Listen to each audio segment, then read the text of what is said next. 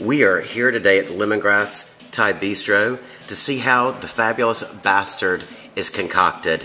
And with us is Leslie McNeil. Leslie, Hi.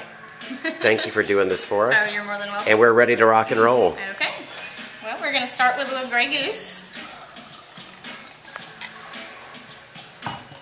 And we have some Kettle One Citron.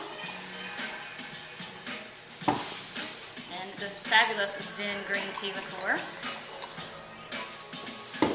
And some Hangar One Kaffir, which is a lime. Okay, we're going to shake it up.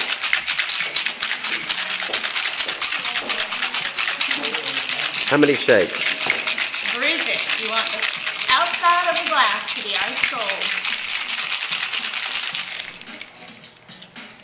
Okay, we're going to strain it into a rocks glass.